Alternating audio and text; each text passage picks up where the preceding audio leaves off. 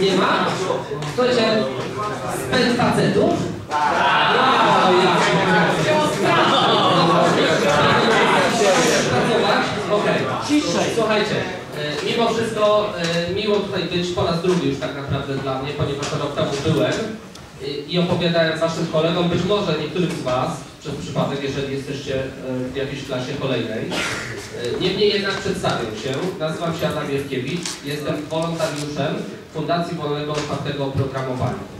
I opowiadam o czymś takim, jak e, można wykorzystywać wolno otwarte oprogramowanie, co to w ogóle jest, e, co nam może dać i również chciałbym Wam opowiedzieć o paru rzeczach e, związanych może nie do końca z komputerami, ale z Waszym życiem, takim przyszłym, bo myślę, że to jest warte. Panowie! Słuchajcie, na dzisiaj przygotowałem raz, dwa, trzy prezenty do rozdania trzech konkursach. A pierwszy konkurs będzie polegał na tym, że dowiemy się, czy, moi drodzy, ktoś tutaj potrafi czytać. Ja umiem. Ja też umiem. Umiecie czytać? Super! Rewelacja! Bardzo dobrze. To słuchajcie, że teraz jeszcze dodatkowe, zapasowe pytanie. Czy potraficie szybko i sprawnie posługiwać się swoimi telefonami komórkowymi? Tak? Michał, uważaj. E, Słuchajcie, kto ma telefon, który ma dostęp do internetu? W tym miejscu ma dostęp do internetu. Właśnie teraz używam. Dobrze, bardzo dobrze, to słuchajcie. Slajd wcześniej była nazwa fundacji. Tak, zobaczymy kto był na tyle mądry, żeby ją przeczytać i zapamiętać. Pytanie brzmi, w jakim mieście ma siedzibę ta fundacja? Pierwsza osoba, która zgadnie, otrzymuje pierwszą nagrodę. Poznań, Poznań. Słuchajcie, mamy raz, dwa, trzech, którzy się zgłosili. Nagroda jest tylko jedna. Bijcie się! Poznań. Ja proponuję, zrobimy tak. Zimy! Dostanie pierwsza osoba z miejsca, który siedzi najbliżej. On tą płytę skopiuje, kopię da drugiej osobie, a ta druga osoba również wykona kopię tej płyty i również da trzeciej osobie i tamta osoba również wykona kopię tej płyty i da kolejnej osobie, która będzie chciała.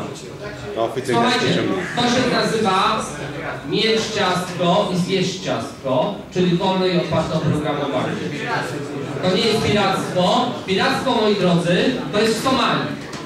A w Polsce piractwa jeszcze nie zaobserwowano. Ostatnie kaperstwo to gdzieś na przełomie XVII wieku wymarło. Z tego co pamiętam. Na dzień dzisiejszy w Polsce nie ma piractwa. Piractwo to jest porywanie statków w celu wyciągnięcia korzyści majątkowych z najcięższej ruchu. I tego się trzymajmy. Słuchajcie, daję jak najbardziej pierwszą nagrodę, proszę bardzo. Dziękuję. Do skopiowania i do przekazywania dalej. No i cóż, lecimy dalej. Tak? Czy ktoś na sali wie, co to jest w ogóle małe i otwarte oprogramowanie? Ja. Ale no, za to niestety na razie nie ma żadnego prezentu, żadnej nagrody. No nie tylko. Nie tylko na tej licencji. O, bardzo dobrze, ale nie tylko. Słuchajcie, drugie pytanie, żeby po prostu nie przedłużać. Czy ktoś wie, czy używa takiego oprogramowania? To znaczy, kto z Was wie o tym, że używa i, i że używa? No nieźle, słuchajcie, bardzo dobrze. Jest całkiem niezła spora osób, spora grupa osób, która wie, że używa, czyli używa świadomie. To już jest bardzo dobrze. A teraz powiedzcie mi pytanie trzecie. Czy ktoś na sali zna, i tutaj nastąpi taki obrazeczek, kto zna ten program? Firefox. No rewelacyjnie. To jest taki program, czasami służy do grania. Czasami do grania, czasami może służyć do czegoś innego.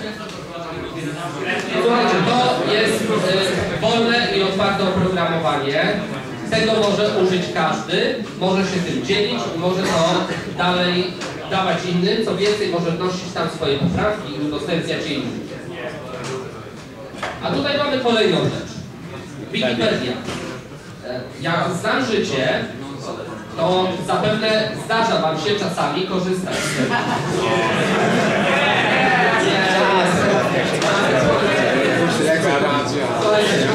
Się z tym, korzysta bardzo często, więc nie powiecie mi, że nie korzystacie. Zresztą osobiście uważam, że dobrze jest korzystać z Wikipedii, bo można się czegoś ciekawego dowiedzieć. No lepiej jest korzystać z tego niż pójść z chłopakami e, na, nie wiem na co, podcast, tak? Słuchajcie, dlaczego, dlaczego tutaj e, pokazuję Wikipedię? Dlatego, że jest to bardzo ciekawy przykład właśnie wolnego, otwartego oprogramowania, ale przy okazji jest to również przykład tego, że nie wszystko, co tam jest, musi być wolne i otwarte. Oczywiście 99% rzeczy, które są, są na licencjach Creative Commons, bo tak generalnie działa Wikipedia. Ale może się zdarzyć, i tutaj chciałbym Was na to uczulić, może zdarzyć się taka sytuacja, że na przykład znajdziecie artykuł w Wikipedii, który będzie, nie wiem, no rzućmy na to tutaj tak, Tymoteusz. Artykuł o Tymoteuszu. Może się okazać, że przeczytacie ten artykuł i on na dole będzie miał taką uwagę, że prawa autorskie są zastrzeżone. Co oznacza, wolno Wam go przeczytać, ale nie wolno Wam go przepisać. To, to tutaj chciałbym zwrócić Wam na to bardzo ważną uwagę. Wikipedia jest wolna i otwarta dlatego, że oprogramowanie, które powoduje, że oglądacie w ogóle te wszystkie treści, jest wolne i otwarte. Ale treść sama w środku wcale taka być nie musi. Owszem, ona najczęściej tam taka jest. Jest wolna i otwarta do użycia.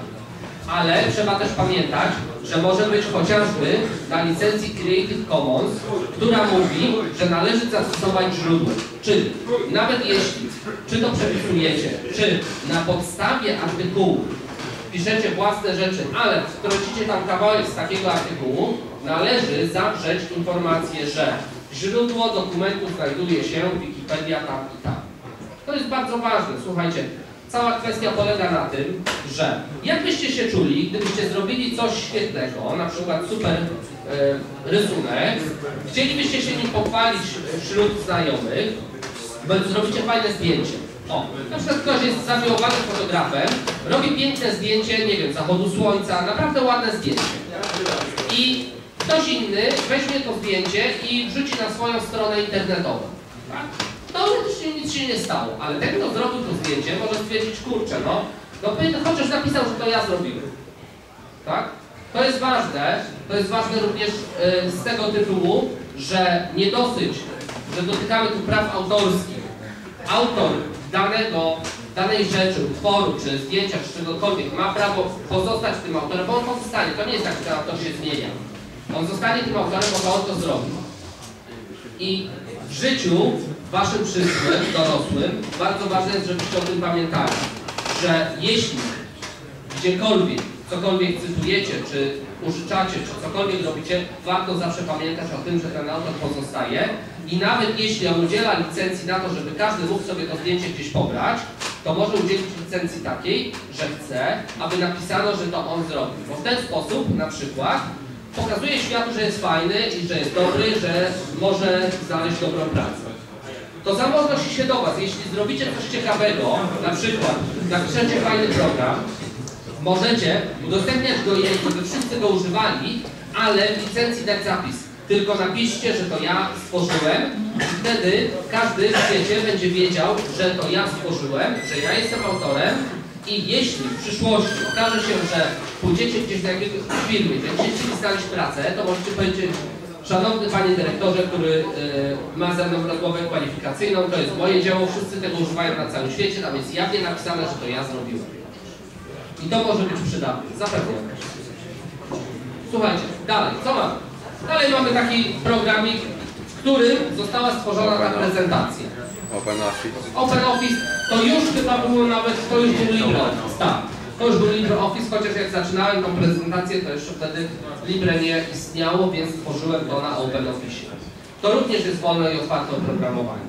Mówię tutaj dlatego o tym, że bardzo często Mam nadzieję, że e, w Waszej szkole e, uczą Was LibreOffice. No, nie uczą, ale jeśli nawet nie uczą, to chociaż mówią Wam, że coś takiego istnieje. Spotykam się wielokrotnie z sytuacjami, jeszcze nie. Okej, to ja wam, ja wam powiem z mojego doświadczenia. Ostatnio pisałem artykuł do gazety i ponieważ używam Linuxa, to na Linuxa nie ma oprogramowania Microsoft Office. Po prostu go nie ma. Zresztą po co będę kupował, skoro mogę mieć za darmo LibreOffice, a spełnia mi te same funkcje. Więc napisałem artykuł w LibreOffice, wysłałem go do pani do wydawnictwa i dostałem maila Proszę pana, a gdzie jest, y, pis, y, gdzie jest ten artykuł? Ja na to, że przepraszam, chyba załączyłem w mailu, no jeszcze potrafię. No tak, ale to są jakieś w ogóle krzaczki, ja tego w ogóle nie widzę mówię, jak to pani nie widzi? No przecież jest załączony. No ale nie, ja mówię zaraz, zaraz, a czego pani używa? No Microsoft Office tam jakieś tam. Ja mówię, no to sorry, przykro mi bardzo, no to tym pani tego nie otworzy. Y, No pani wyślę w formacie Microsoftu. No wie pani, ale ja nie mogę, bo nie mam Microsoftu, nie wyślę pani w tym formacie. Już nie będę jej mówił, że mogę zakreślować. No to, no ale ja nie mogę. Ja mówię, dobrze, to proszę Pani, proszę sobie ściągnąć, pobrać LibreOffice.org, darmowy, otwarty pakiet. Może Pani go swobodnie zainstalować, używać, otworzy Pani, przeczyta bezproblemowo. No i co na to słyszę? Proszę Pana, nie mogę, u nas w firmie nam zakazują.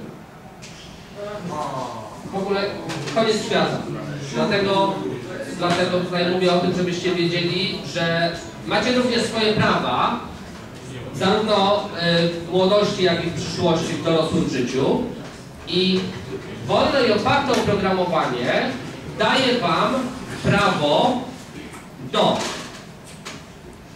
do uruchamiania programu w dowolnym celu, do analizowania działania programu, do rozpowszechniania kopii oraz do udoskonalania programu i publicznego upowszechniania własnych ulepszeń. Rozpowszechniania, przepraszam.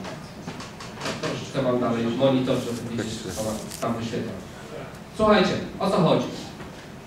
Wolność do uruchamiania w dowolnym celu. Weźmy, powiedzmy sobie, program do tworzenia grafiki, który jest fajny, świetny, ale jego licencja mówi, nie wolno Wam w tym programie zrobić czegoś, co będzie używane jako tapeta na y, komputerze. Jest super świetny, ma świetne funkcje, ale nie wolno Wam. Wolno Wam co najwyżej przerobić własne zdjęcie i je zapisać do swojego komputera i co więcej, na przykład nie wolno Wam wydrukować tego zdjęcia. Albo nie, bo wolno Wam wydrukować tylko takie zdjęcie, które zakupicie w sklepie, który udostępnia producent oprogramowania graficznego. Oczywiście wymyśliłem sobie teraz na prędce taką licencję, ale może taka być, ponieważ to twórca, czyli firma, która to tworzy, ustala reguły. I albo się na nie zgadzacie, albo nie. Niestety te reguły najczęściej nie są takie, żeby było Wam dobrze, tylko żeby było dobrze temu, co produkuje. Nie ma co, nie ma co ukrywać, świat taki jest. Natomiast wolne, oprogramowanie mówi ni mniej, ni więcej tylko tyle, że możecie używać tego oprogramowania, do czego Wam się tylko żywnie podoba. I druga wolność do analizowania działania programu. Mam pytanie takie. Kto z Was tutaj e, w przyszłości chciałby być mechanikiem samochodowym? Super. Kto, kto z Was chciałby w przyszłości być, nie wiem, cukiernikiem? Dobra, lekarzem. Mamy jakichś przyszłych lekarzy tutaj? Okej, słuchajcie, nieważne, nieważne jaki sobie wybierzemy zawód do tego przykładu, jest jedno, jedno, jeden wspólny mianownik. Spróbujcie wyobrazić sobie, że na przykład chcecie uczyć się jako mechanik samochodowy, ale nie wolno wam otworzyć klapy silnika. Chodzimy od dołu. Tak? Nie wolno, po prostu silnik jest obudowany cały y, ze wszystkich stron, co macie to złącze OBD do komputera pokładowego, wolno wam włączyć tam tylko wtyczkę, producent silnika dostarcza oprogramowanie do komputera, ono wam mówi, że należy wymienić moduł 384, który kosztuje X i się go wyciąga cały i wkłada cały, nie ma możliwości jego naprawy. Po prostu takie naprawy potrafi zrobić prawie że każdy. Po co? Umie czytać, podłączyć jedną wtyczkę, wymienić moduł, zadzwonić, poproszę moduł 384, na jutro dostarczymy, wkładam, samochód jedzie.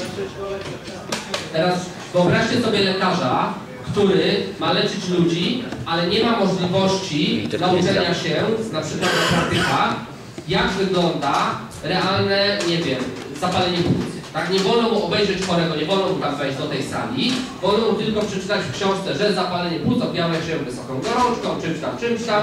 Na, e, nie wiem, OB jest to powyżej 7, tylko tyle. I teraz chciałbym wrócić do tego, e, co Wy najprawdopodobniej będziecie chcieli robić, czyli do informatyki. No bo skoro jesteście w tych klasach informatycznych, to jest większa szansa, że część z Was chciałaby być informatykami, a być może nawet część z Was chciałaby być programistami. Może, nie wiem. Teraz wyobraźcie sobie, że macie do dyspozycji e, naukę w ten sposób, że nie wolno Wam zobaczyć, jak działa to, czego się uczycie. Nie zapytać, to jest Tak, działa zamknięte oprogramowanie. Nie jesteście w stanie prześledzić kodu programu krok po kroku, co bardzo często jest niezbędne w przypadku, kiedy sami tworzycie oprogramowanie, bo jak weźmiecie się za pisanie pierwszego brzegu programu, to zobaczycie, że bez dokładnego debugowania, czyli sprawdzania krok po kroku, co program robi, tak naprawdę trudno, no jest niemożliwe znalezienie błędów czy czegokolwiek, w ten sam sposób bardzo trudno jest dokładnie czasami zanalizować, jak działa zamknięte oprogramowanie. A wolne i otwarte oprogramowanie mówi, macie kod źródłowy, możecie analizować dokładnie krok po kroku. Kolejna rzecz, wolność do rozpowszechniania kodu. Pierwsza nagroda, która poleciała jest do rozpowszechniania dalej. Tak, wolno wam. Nie ma problemu. Słuchajcie, pamiętajcie przy tej okazji o jednej rzeczy. E, Torenty, czy serwis komikuj.pl, czy też Rapid Share same w sobie nie są nielegalne.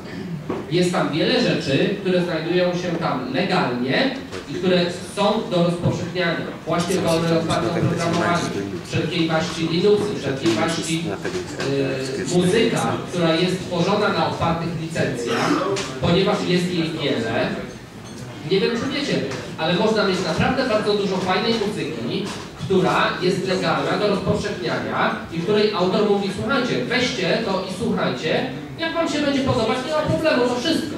Nie chcę za to żadnej zapłaty, nic za to nie chcę, chcę po prostu, żebyście zobaczyli, jak potrafię fajnie śpiewać.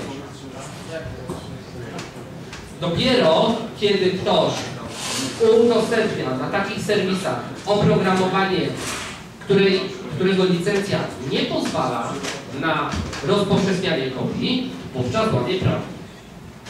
Ktoś, kto używa takiego oprogramowania, również łamie prawo. I kolejna rzecz.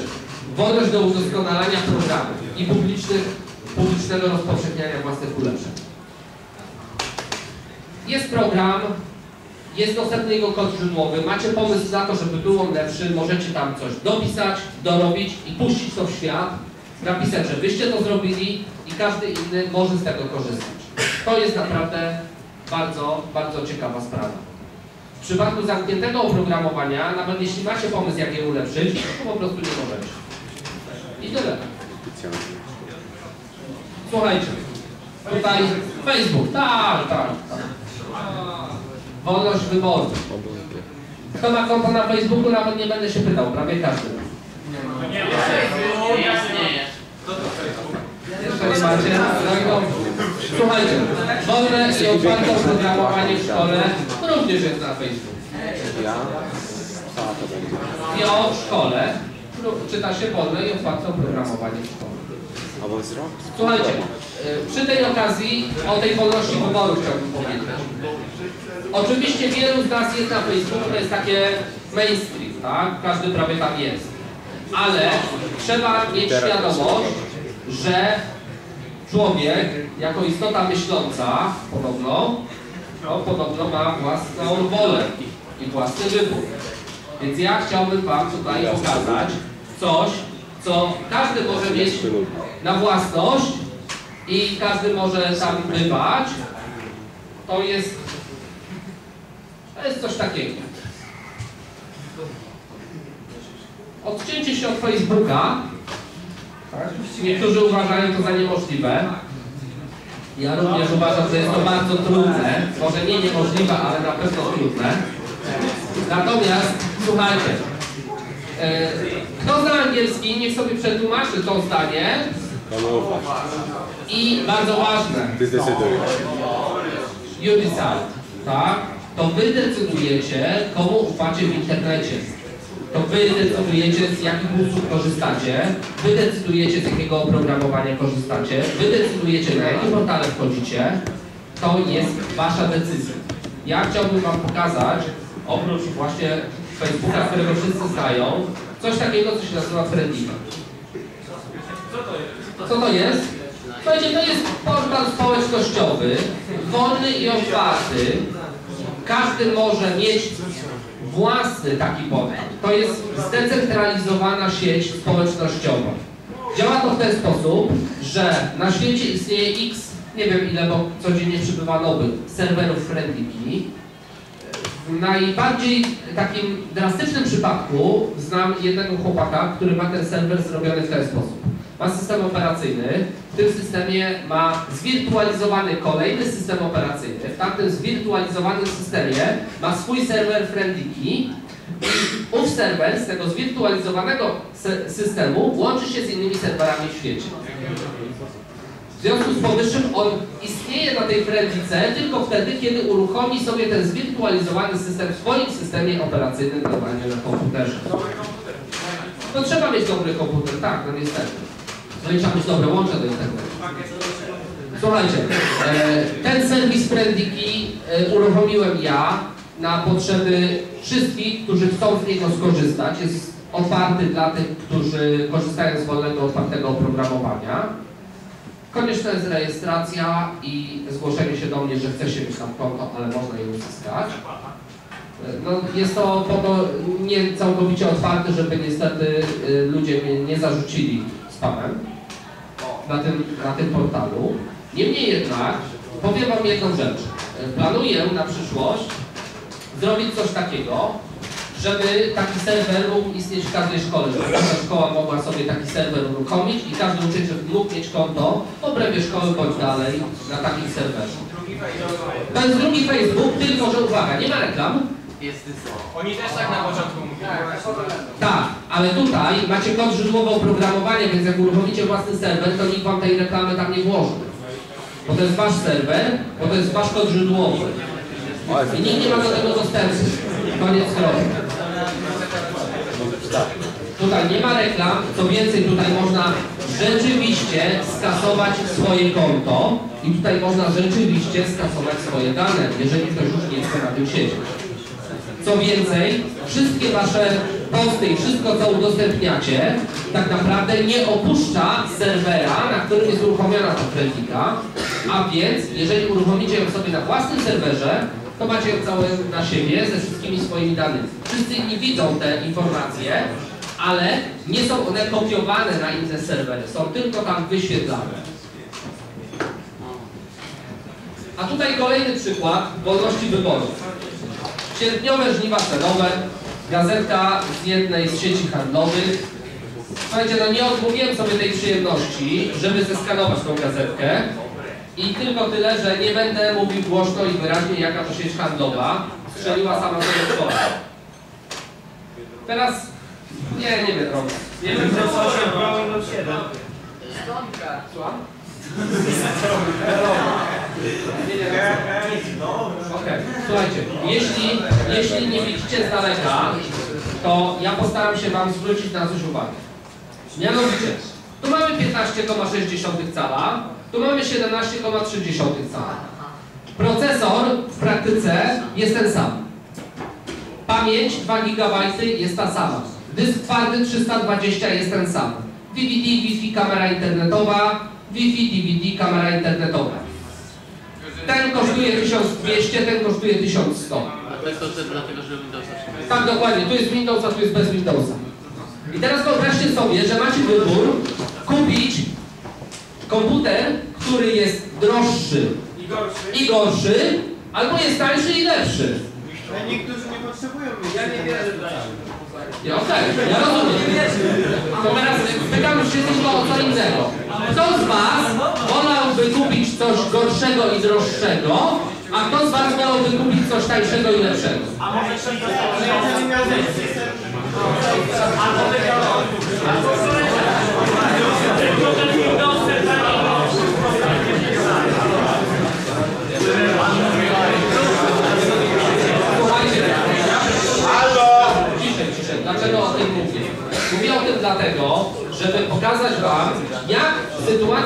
wystawiałaby się w sklepach, gdyby laptopy wystawiane na sprzedaż były wszystkie bez systemu operacyjnego, a system operacyjny leżał obok pudełka. Tak przemyślcie sobie, jak wtedy mogłyby wyglądać Wasze decyzje co do zakupów, kiedy mielibyście realny wybór między sprzętem tylko i wyłącznie, a system, bądź to musielibyście sobie dokupić, bądź to moglibyście sobie wziąć za darmo. No ale oczywiście, jak e, wszyscy wiemy, będę mówił o Linuxie, no to pojawia się kwestia tego, że na Linuxie nie ma gier, tak?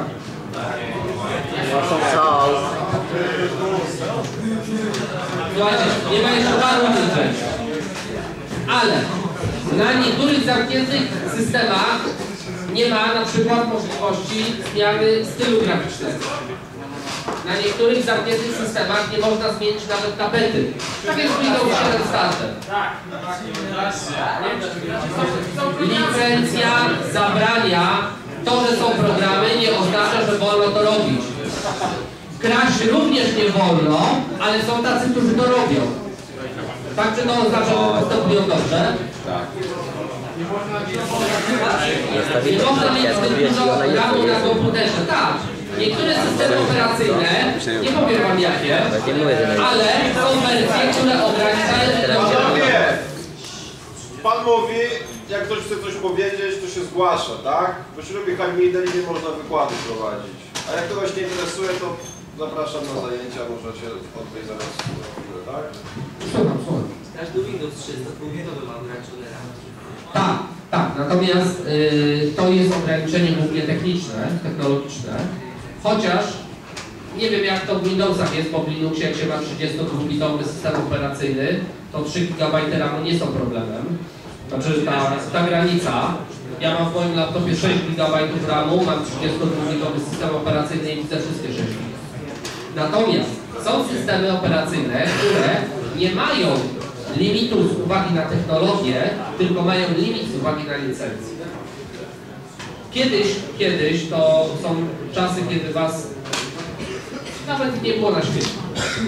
Istniały systemy operacyjne, które limitowały przestrzeń dostępną RAMu ewidentnie z uwagi na licencję. To znaczy, jeśli chciałeś na komputerze mieć więcej niż 10 GB RAMu, to przykro nam bardzo, musiałeś dopłacić parę tysięcy dolarów. Tak było kiedyś w przypadku dawnych li- Unixów, takich naprawdę komercyjnych Unixów. Słuchajcie, nie wiem, czy ktoś już zdążył na taki y, jakiś, na taką informację wskoczyć w internecie, ale tu mamy 3 sierpnia, tak naprawdę, i szefa firmy Steam. Myślę, że firma Steam powinna być Wam znana. Słuchaj. O, dzięki. Jak, widzicie, człowiek uczy się całe życie. To nie jest tak, że ja wszystko wiem. Nikt nie wie wszystkiego. Podobno pamięć wie.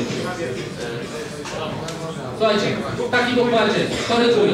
Szef firmy Valve tak, ogłasza, że Windows 8 to jest katastrofa.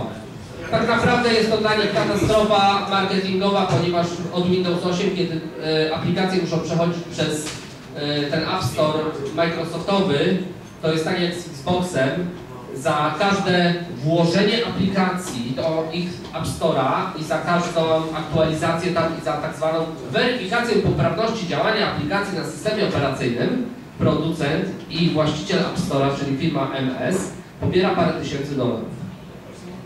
Generalnie skończyło się to tak w przypadku jednej małej firmy, która zrobiła y, ciekawą grę na Xboxa, niezbyt drogą, więc była często pobierana, ale ponieważ miała jakieś tam błędy, no jak to program, no to ludzie z, z, dawali feedback do tej firmy, słuchajcie, tu jest błąd, tam jest błąd, oni to poprawiali.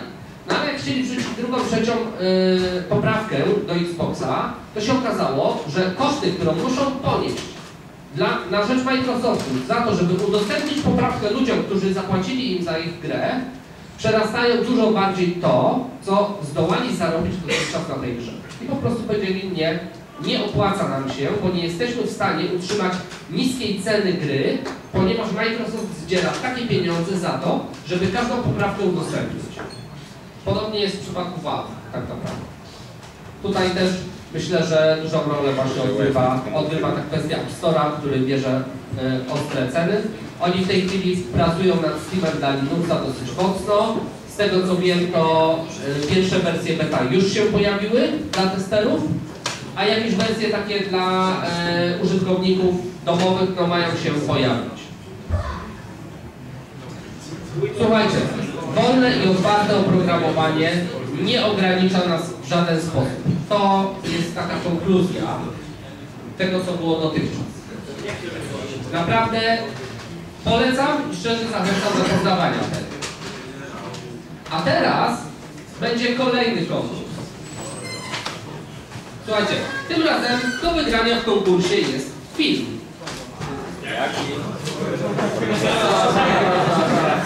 Film wolny i otwarty na licencji Creative Commons, którym można się dzielić. To jest y, około półtorej godziny filmu. Film jest w wersji angielskiej, ale są napisy zrobione przez wolontariuszy. Bardzo ciekawy.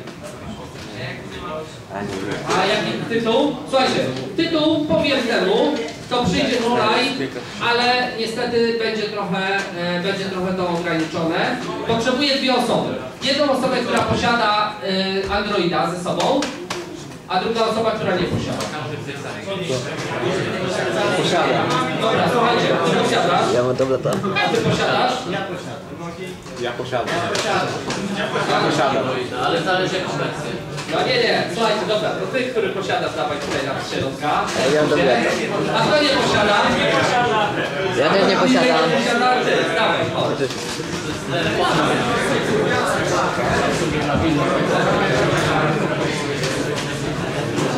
Pokaż, pokaż. Ale ej, on nie ma tego wersji tego. To niestety nie jest.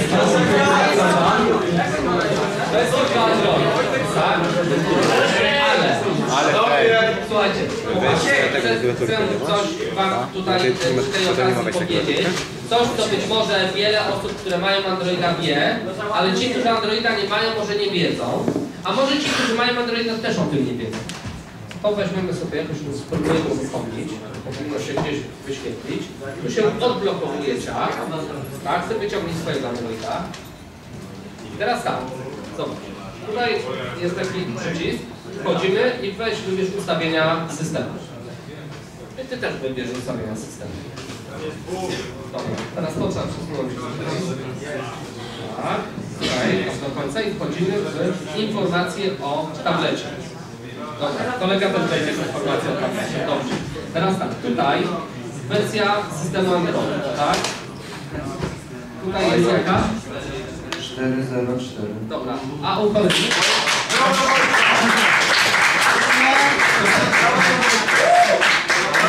Poczekajcie, poczekajcie, poczekajcie. Mamy tutaj oprócz wersji systemu Android, bo system Android no to prawie że każdy Panowie, ale posłuchajcie, tak? Mamy tutaj taką informację, która się nazywa, teraz będzie bardzo duży wybuch śmiechu, wersja jądra, tak? Element z komputera, ponieważ jak każdy, jak każdy facet na tej sali, również system operacyjny posiada, ale jest gorszy od nas, bo posiada tylko jedno jądro. Tak? Słuchajcie, ale posiada. Mam pytanie do kolegi, który posiada Androida. Jaką wersję jądra, jaką wersję jądra masz tam w tym Androidzie? 2, 6, 2, 6, 3, 5, 7. Nie, no dobra, okej, słuchajcie. Jądro, jądro z serii 2.6. A pytanie teraz w Androidzie czwartym, jaka jest wersja jądra? 308 plus.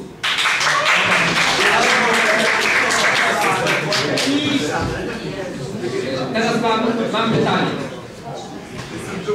Tutaj rzuciłem wrzutkę z wieloma różnymi systemami operacyjnymi. Część z nich jest na czerwono i to są systemy operacyjne, które są całkowicie zamknięte. Po prostu zamknięte, tak, takie licencje. Część z nich, jak na przykład nasz Android, jest żółta. To oznacza, że są częściowo zamknięte, a częściowo otwarte. Co ostatnio zresztą w przypadku Androida przestaje być już prawdą, ponieważ zaczynają go całkowicie udostępnić. A część z nich jest zupełnie zielona i to są zupełnie otwarte systemy operacyjne. Teraz koledzy. Pytanie za 100 punktów. Jak sądzicie, dlaczego tutaj jądro jest 2.6 u Ciebie, a tutaj jest 3. coś tam? Wojtek jest najlepszy. Wojtek Wojtek ma więcej gaci. Okej, a teraz e, pytanie kolejne. Z jakiego systemu operacyjnego stoją? Bardzo dobrze.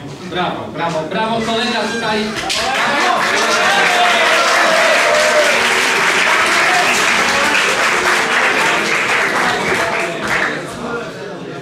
Ja obiecałem nagroda. Nagroda oczywiście do skopiowania, do przekazania dalej.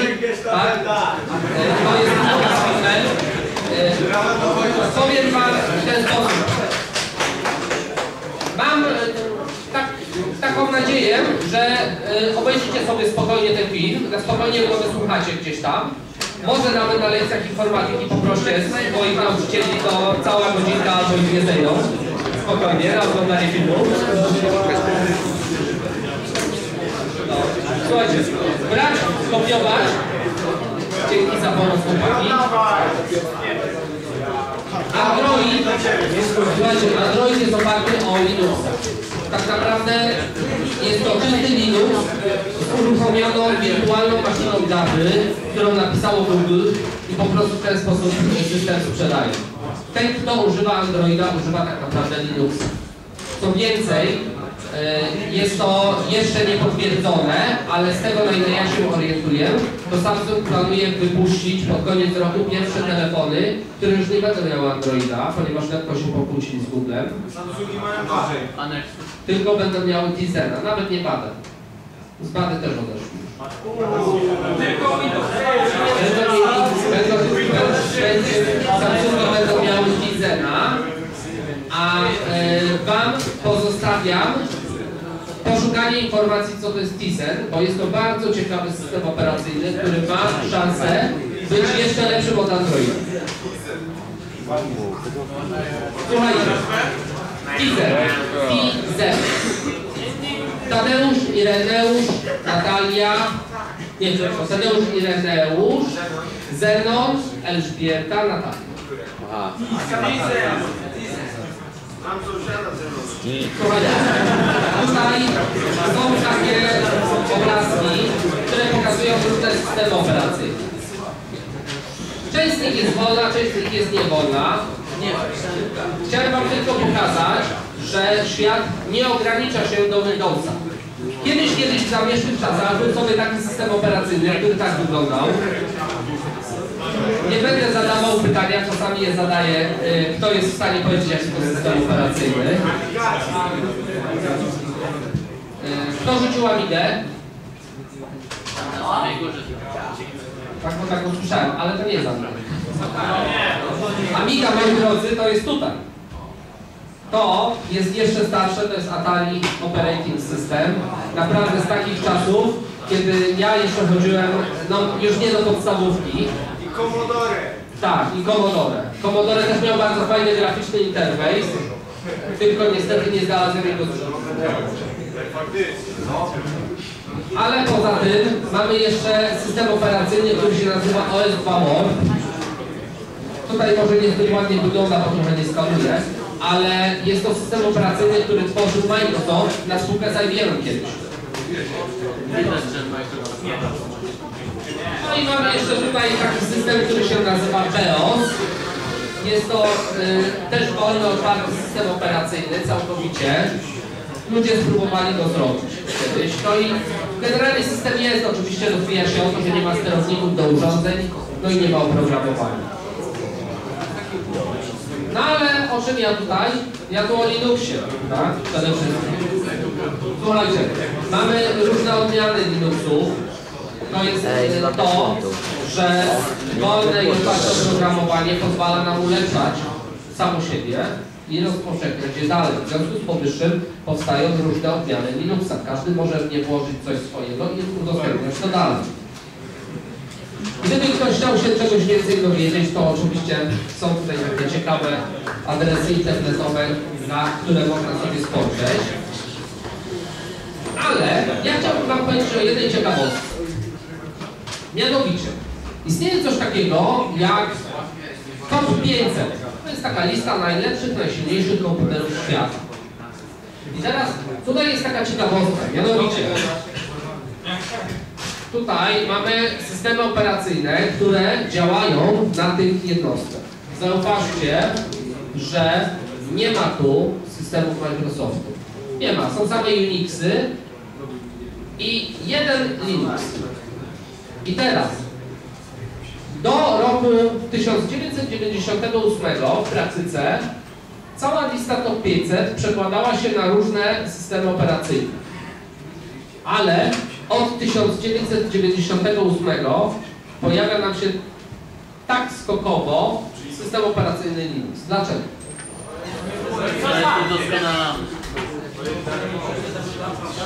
Słuchajcie, usłyszałem dwie odpowiedzi, bo jest darmowy i jest udoskonalany. I obie są idealne, dlatego właśnie, że jest darmowy, więc nie trzeba za niego płacić. I jest udoskonalany, a dlaczego jest udoskonalany? Ponieważ można go udoskonalić.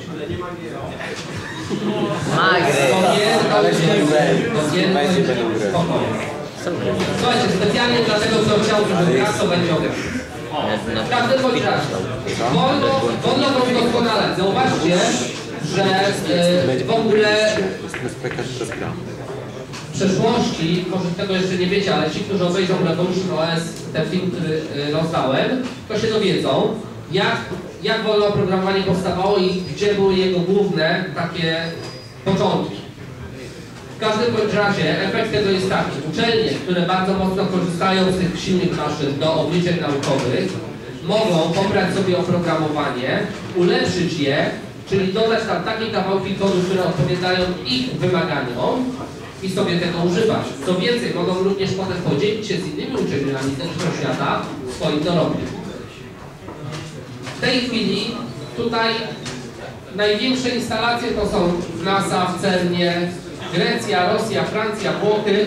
W tej chwili mam e, informację potwierdzoną przed półtorej tygodnia.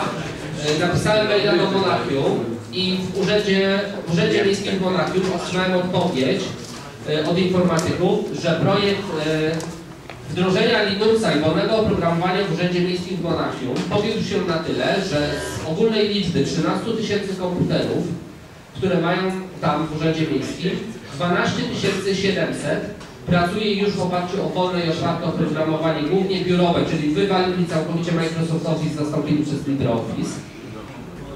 A kilka tysięcy komputerów zostało wymienionych z Windowsów w ogóle na Linuxa. Chłopaki y, z, y, tam z Urzędu Miasta, kilku informatyków, stworzyli własną dystrybucję Linuxa, która została certyfikowana, jeśli chodzi o bezpieczeństwo i wdrażają ją tam w Urzędzie Miasta, w całym mieście w Monachium. Ostatnio nawet uzyskałem informację od Microsoft Polska, że ten projekt upadł, no ale niestety Microsoft myli się, nie upadł. Ma się bardzo dobrze. I naprawdę duże firmy i duże organizacje potrafią tego używać. I potrafią na tym zaoszczędzić tak naprawdę realne pieniądze, bo nie tylko to, że nie płacą za licencję, ale również to, że każda aktualizacja jest darmowa, jak również to, że na przykład nie ma wirusów. To taki drobny, drobny To plus. 50. Jest też wersji Linuxa, że... Co? Każdy, Linuxa, kto nie zna Linuxa, to mówi najczęściej, a bo to taki system tam ciemny, tutaj linijki, matrix i tak dalej. No otóż nie, otóż Linux potrafi wyglądać całkiem ciekawie. To jest zrzut ekranu z mojego komputera z... O, jejku. Luty, to jest chyba luty zeszłego roku w ogóle. Tak, co najmniej, co najmniej. Tak, myślę, że co najmniej, bo to jest jeszcze, to jest jeszcze GNOME dwójka, e, więc to jest co najmniej dawny czas. Ale wówczas na przykład już można było uzyskać takie efekty graficzne. Jak w Windowsie, tak jest. Tak jest, jak w Windowsie. olbrzymia ilość oprogramowania.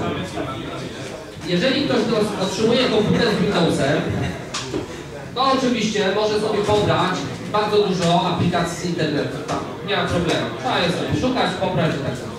Tutaj w Linuxie mamy Centrum Oprogramowania Ubuntu, gdzie również pobieramy sobie aplikacje z internetu, ale jest to dosyć ładnie zrobione, bo jest pogrupowane ładnie w kategorie. Y, Możemy sobie wybrać jakąś y, pozycję, po prostu wejść sobie w nią, zobaczyć, poczytać. Y, W najnowszej wersji jest już zrobiony taki dodatek jak opinie użytkowników i naprawdę jest tego niemało. To jest ponad 38 tysięcy aplikacji, jak się tak doliczyć, wszystkich. Od najmniejszych programików, które na przykład potrafią tylko zliczyć, e, nie wiem, liczbę e, linii w pliku tekstowym, aż po naprawdę bardzo duże aplikacje, na przykład no, Alpina. Nie wiem, czy kanał wam nie wystarczy, nie? Ja nie znam akurat, ponieważ gram, gram w inną grę najczęściej. Pasjans. Jest, e, jest wersja Minecrafta pod Linuxa wolna i otwarta. Chciał. Słuchajcie, są niestety również aplikacje edukacyjne, o których muszę Wam powiedzieć, ponieważ... Panowie za głośno! Ale postaram się mówić. Słuchajcie, najciekawszy program, który mnie się najbardziej podoba, to jest rysowanie. Kursek, tak jest. To naprawdę nawet małe dzieci lubią, potrafią, to jest bardzo fajne. A jeśli chodzi o gry, to bywają, bywają ładne. Naprawdę e, potrafią być e, ciekawe. To jest World of Pac-Man, to jest w wersji pod Linuxa, ale oczywiście są też wersje pod Windowsa. Bardzo często zdarza się tak, o dziwo, że coś, co jest wolne i otwarte, to jest i na Windows, i na Linuxa, a jak coś jest zamknięte, to tylko na Windows. Nie wiem na. Ale jest również jakaś gierka taka, taka sportowa. Nie wiem co to jest za gra naprawdę, nawet mi się nie pytajcie. Polecam wszystkim, którzy chcą serwis gry linux.pl. Tam jest dużo informacji na temat Linuxa. I na temat gier pod Linuxa, najczęściej wolnych i otwartych. Ale oczywiście zaczynają pojawiać się, to mnie najbardziej cieszy, normalnie licencyjne aplikacje pod Linuxa. Prey myślę, że już powinno być Wam tytułem bardziej znanym. To słyszałem. I to jest najzwyklej w świecie dostępne na Linuxie. To jest sklep, można to zakupić. Tak? Tutaj mamy ceny złotych polskich podane. To nie jest tak, że tylko gry to są w ogóle dla tam maniaków Linuxa, którzy siedzą z rodzinami i piszą jakieś gry tekstowe. Także można. Potem pokażę Wam jeszcze jedną ciekawą gierkę, właśnie na której ja Słuchajcie, dochodząc do końca, zachęcam Was do tego, żeby Linuxa spróbować. Spróbować go używać, bo można go tak naprawdę używać na co dzień. Ja pokażę Wam jedną rzecz. Głośno. O, można w systemie uruchomić sobie inne systemy operacyjne. Tu, tutaj jest na przykład uruchomiony Windows, na niego licencję z komputerem, więc mogę go używać. Tutaj jest kolejny Linux, a w tle jest normalny Linux, którego na co dzień używam. W ten sposób, nawet jeśli na co dzień używacie Windowsa, możecie spróbować sobie użyć Linuxa właśnie w VirtualBoxie, po to, żeby zobaczyć. Jedną z tych płytek, którą rozdałem, y, zawiera właśnie takiego Linuxa, którego można sobie wypróbować. To jest taka wersja, która jest y, naładowana aplikacjami edukacyjnymi, więc teoretycznie prosto dla Was. Ale oczywiście, jeżeli zainstalujecie sobie Linuxa w VirtualBoxie, macie do dyspozycji Centrum Oprogramowania Ubuntu i możecie wówczas zainstalować sobie dowolne inne aplikacje. Jeśli już zdecydujecie się na próbowanie Linuxa, to zachęcam potem do tego, aby poodwiedzać fora użytkowników, jeżeli będziecie mieli jakieś problemy, bądź też poczytać u wujka Google'a, bądź też u lokalnego nauczyciela informatyki, który zawsze powinien służyć Wam pomocą, w razie gdybyście mieli jakieś wątpliwości, lub u znajomych. Jest kilka adresów internetowych, które warto sobie przejrzeć. I słuchajcie, jest sobie taki, jest sobie taki portal, który nazywa się wiołszkole.org. My tam e, na tym portalu staramy się zebrać wolontariuszy, którzy chcieliby pomóc propagować Linuxa oraz wprowadzać go i w ogóle wdrażać i pomagać w różnych pracach. Słuchajcie, przy tej okazji mam e, taką sprawę.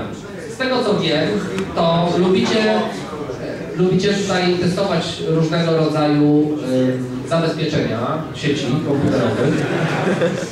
A ponieważ my jako e, wolontariusze zachęcamy Was do próbowania i eksperymentowania i poznawania różnych rzeczy, to chciałbym ogłosić taki mały challenge tutaj dla Was. Mam nadzieję, że Pan nauczyciel informatyki mnie nie zabije. Ale słuchajcie, e, bo macie na.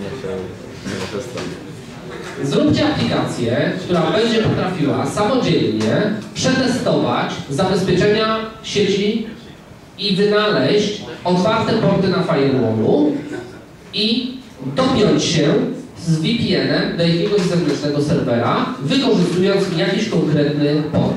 Żeby ładnie pokazała to graficznie, że dostępne porty są takie i takie, możesz na przykład wykorzystać dla połączeń do proxy zewnętrznego port numer, czy chcesz to zrobić. Ale aplikacja musi być ładna, graficzna i działać samodzielnie. To nie może być aplikacja dla e, super znających się ludzi, tylko musi być to aplikacja dla kogoś, kto się nie zna. To kliknie sobie ikonkę na pulpicie i po prostu nagle dostanie okno z informacją. Jesteś w zabezpieczonej sieci hotelowej, hotel przepuszcza tylko połączenia na przykład jakieś tam, ale możemy to wykorzystać do tego i do tego. Taki, zaproponuję Wam e, eksperyment. Jeśli komuś się uda, to mnie odnaleźć poprzez nauczyciela jest nie trudno i ja chętnie e, w ramach fundacji nie ufunduję niczego specjalnego, ale obiecuję Wam, że Wasz program z informacją o tym, kto jest autorem, znajdzie się na stronach fundacyjnych jako przydatna rzecz dla tych, którzy jeżdżą dużo po świecie i potrzebują mieć bezpiecznej komunikacji z różnych zamkniętych sieci. To jest taki mały challenge. Nie wiem, czy Wam się uda. Jeżeli jesteście dobrzy, pokażcie, że jesteście dobrzy. A ja dziękuję za uwagę.